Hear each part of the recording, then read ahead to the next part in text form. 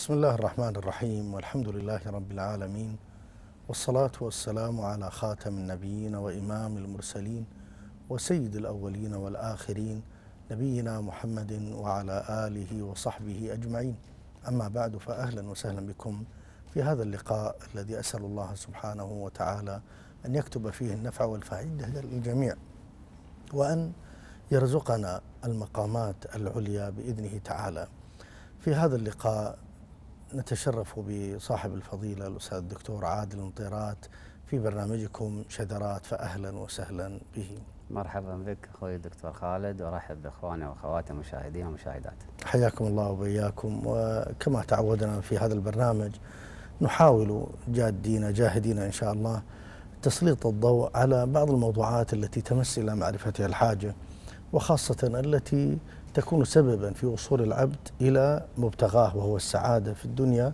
والآخرة حيث يقوم برضا ربه سبحانه وتعالى والفوز بجنته. ومن هذه الموضوعات التي نود الحديث عنها في هذا اللقاء قضية السعي في قضاء حوائج الناس وأن هذه من أسباب السعادة وخاصة في مثل هذه الأجواء الإيمانية وهذه الليالي الشريفة والأيام الفاضلة فماذا عسانا أن نقول في قضاء حوائج الناس؟ بسم الله الرحمن الرحيم. الحمد لله والصلاة والسلام على رسول الله ما بعد. من فضل الله عز وجل على عباده أنه ينوع لهم في الطاعات وفي الأجور. فهناك صلاة وهناك صيام وهناك حج وهناك أخلاق وهناك بر والدين وهناك أمر عظيم. إذا شاع في المجتمع أصبح مجتمع يسوده المحبة والوئام والأخوة وهو شيء في الحقيقة يشرح الصدر. حين احتسب الإنسان الأجر من الله سبحانه وتعالى. وهو أن الإنسان يكون نافعا للناس مفتاحا للخير. ينفع الناس يقضي حوائجهم ابتغاء مرضات الله سبحانه وتعالى. يكون كما قال النبي صلى الله عليه وسلم إن من الناس ناسا مفاتيح للخير.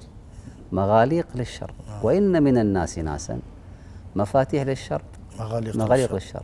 فطوبى بين النبي صلى الله عليه وسلم. في من كان مفتاحا للخير. مغلاقا للشر. ومغلاقا للشر. والنبي صلى الله عليه وسلم ذكر لنا في حديث عظيم. لخص لنا هذه الطاعة وهذه العبادة أن يقوم الإنسان بنفع الناس ابتغاء مرضات الله عز وجل وما هو الأجر العظيم. يقول عليه الصلاة والسلام أحب الناس إلى الله أنفعهم. ولاحظ كلمة أحب الناس. أحب الناس إلى الله من هو؟ أنفعهم للناس. وأحب الأعمال إلى الله. سرور تدخله على مسلم. نعم. وهذا من النفع أيضا. نعم. تقضي عنه دينا. تكشف عنه كربة. تطرد عنه جوعا. ولأن أمشي مع أخي في حاجة أحب إلي من أن أعتكف في مسجدي هذا شهرا. الله. ولأن أقوم في حاجة أخي. من ولا أن يقوم في حاجة أخي حتى يقضيها له أو حتى أثبتها أو. حتى أثبت له. ثبت الله قدمه يوم تزل أو تزوم الأقدام. يعني هذا حديث جامع مانع. يبين كيف أن نفع الناس والقيام بحوائج الناس ابتغاء مرضات الله فيه أجر عظيم. من أكثر من وجه. الوجه الأول أن هذا أحب الناس إلى الله. فإذا أردت أن تكون محبوبا عند الله عز وجل فقم بنفع الناس بما تستطيع ابتغاء وجه الله عز وجل. ثم إذا أردت أن تعمل أفضل الأعمال إلى الله هو أيضا تقوم بخدمة خدمة الناس. الناس. ثم بين النبي صلى الله عليه وسلم شيء عجيب. ولعلنا نقف عند هذا الشيء العجيب. نعم. ونأخذ هذا الفاصل ثم نواصل.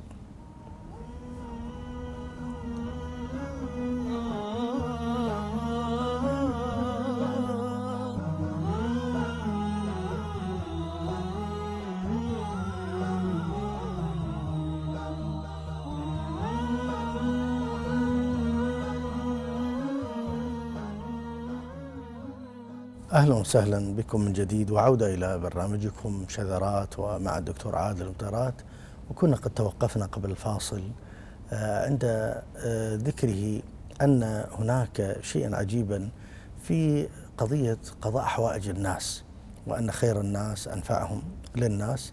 فما هو هذا الشيء العجيب يا دكتور؟ نعم. لما قال النبي صلى الله عليه وسلم لئن أمشي في حاجة أخي أحب إلي من أن أعتكف في مسجدي هذا شهرا. الله أكبر. لو عملنا حسبة الآن الاعتكاف في مسجد النبي صلى الله عليه وسلم شهرا. لو لو اعتكف شخص في مسجد رسول الله صلى الله عليه وسلم شهرا. شهرا ثلاثين يوما. نعم. إذا كانت الصلاة الواحدة في مسجد النبي صلى الله عليه وسلم بألف صلاة. نعم. فخمس صلوات بخمسة آلاف. نعم. في ثلاثين مئة وخمسين ألف صلاة. نعم. ثم معها اعتكاف. نعم. ثم معها قراءة قرآن. أجر عظيم جدا. أفضل من هذا كله أن يقوم الإنسان بحاجة أخيه مرة واحدة. أن يخدم أخيه. أن ينفع أخاه. نعم. أن يخدم أخاه. أن ينفع أخاه مرة واحدة. لأن أمشي في حاجة أخي أحب إلي من أن أعتكف في مسجدي هذا شهرا. ثم إنه في مسجد النبي عليه الصلاة والسلام يعني فانظر إلى الأجور عظيمة. صحيح. الحسن البصري تابع الجليل وغيرهم من التابعين والصحابة يفقهون هذه القضايا. آه، كان هناك آه، إنسان صالح اسمه ثابت البناني آه، كان معتكفا. فالحسن البصري قال لتلاميذه وإخوانه اذهبوا اقضوا حاجة فلان. في قضية ما. لكن مروا ثابت البناني خذوا معكم. يقولون ذهبوا إلى ثابت قال أنا معتكف. فرجعوا إلى الحسن البصري. قالوا إحنا أردنا أن نأخذه قال أنا معتكف. قال فأنكر عليه. قال أما علمت أما علمت بأن قضاء حوائج الناس أفضل من حجة بعد حجة؟ يقول الله. فترك الاعتكاف وذهب معهم. فانظروا إلى الفقه. صحيح. لأن النبي صلى الله عليه وسلم قال في مسجدي هذا شهر كامل أفضل من أن تقضي حوائج الناس فترك اعتكافه وذهب ليقضي حوائج الناس. صحيح. سبحان الله. اذا هذا يدلنا على فضل قضاء حوائج الناس. ولكن يعني كيف يتسنى الإنسان أن يقوم بمثل هذه الأشياء وخاصة قضية النية ودخولها في هذا الأمر، اليوم يعني بعض الناس يقول أنا ممكن أريد أن أصل إلى منصب معين حتى أخدم الناس. نعم. أو أحيانا يعمل العمل ويقول أنا فعلت كذا وفعلت كذا، فما هي النصيحة لمن أراد أن ينفع الناس؟ هل يتكلم بمثل هذه الأشياء أو يحاول إخفاء هذه الأعمال حتى يؤجر عليها أكثر وتكون لوجه الله؟ نعم هذا صحيح آه، لا ينبغي بل لا يجوز أن الإنسان يأخذ هذا الطريق لمصالحه الشخصية يعني ينفع الناس ويخدم الناس لمصلحته الشخصية أو للوصول إلى منصب. معناته هذا ليس لله سبحانه وتعالى. فأنا أنفع الناس لله عز وجل. لا أريد منهم جزاء ولا شكورا ولا أريد مصلحة شخصية. إنما غرضي أن آه، أؤجر من الله سبحانه وتعالى وأحصل هذه الأجور. ولذلك آه، الذي ينفع الناس فإن هذا من من من صنائع الخير. والنبي صلى الله عليه وسلم يقول صنائع المعروف تقي مصارع. السوء. فهذا نفع لي. أنني أنا أفعل الخير للناس حتى الله سبحانه وتعالى يبعد عني آه، مصارع السوء. هذا هذا آه، هذا واحد. الأمر الثاني أن الأصل أن الإنسان يخلص العبادة لله عز وجل. نعم. ولا يشرك معه أحد. والله عز وجل يقول يوم القيامة أنا أغنى الشركاء عن الشرك. نعم. من عمل عملا أشرك فيه معي تركته وشركه يعني لا ينبغي لا يجوز له أن يرائي بعمله. ولا يريد آه، ثناء الناس ولا مدحهم. وإنما يريد بهذا العمل وجه الله سبحانه وتعالى. نعم. وأما إذا أراد وجه الناس فإنه سيحرم هذا الأجر بل قد يكون عليه وزر.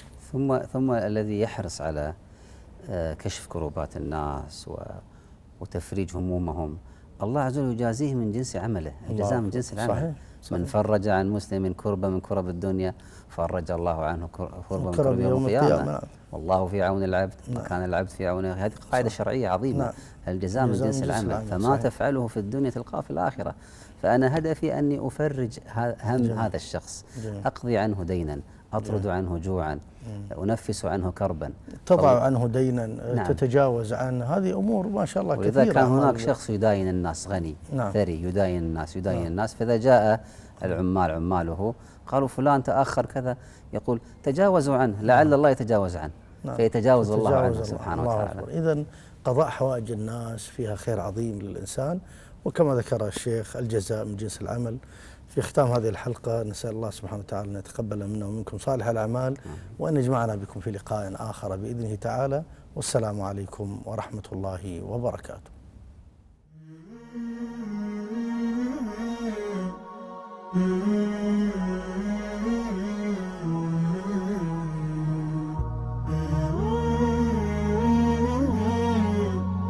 Mm-hmm.